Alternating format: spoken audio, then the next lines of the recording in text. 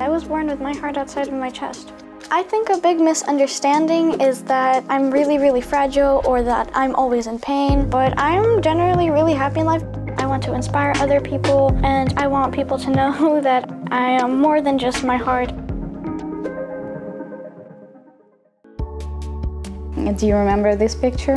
Do you Oh, remember yeah, this one? Yeah?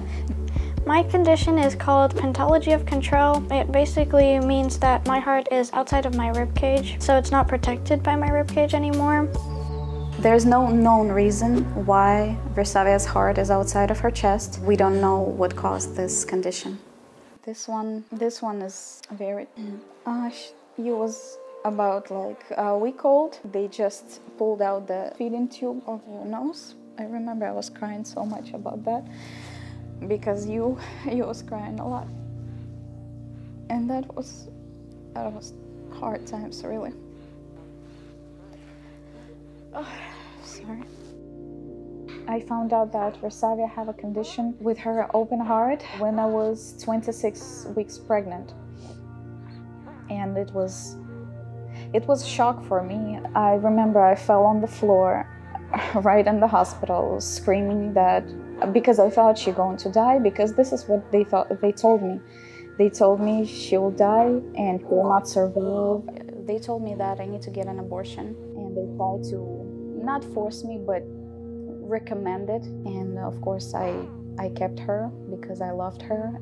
People often think that um, since my heart is outside of my body, that I feel pain there, but I don't. Seeing my heart outside of my body does not necessarily feel like anything because I'm used to it, except it might feel like something to other people, but not to me.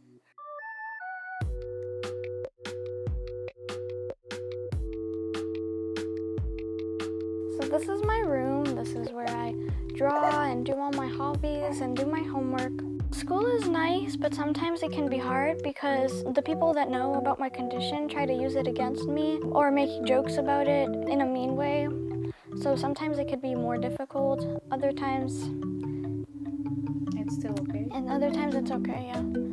My condition affects my daily life because I can't do some normal things like I can't run or I can't walk too fast and I can't go up and down the stairs because my oxygen drops really, really low.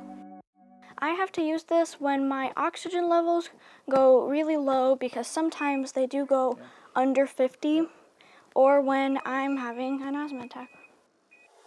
I think a big misunderstanding is that um, that I'm really, really fragile or that I'm always in pain. But I'm generally really happy in life. My mom and I decided to um, start posting on Instagram about my condition. It's important for me to spread awareness because there are a few others out there that uh, also have similar conditions to me and if they want help from like doctors on it, people should know more about it so that they would learn how to help it or treat it or something along those lines. She's a really good friend. She is so beautiful. She's cool. She never give up.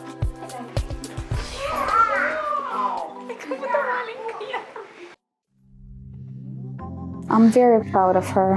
I'm proud of her strength, and um, I love her the way she is. I'm grateful for proving the doctors wrong, that I can still eat and walk and be alive. I would like to push my limits on what I can and cannot do because I want to inspire other people and because I want people to know that I am more than just my heart and I am beautiful just the way I am, and so are you.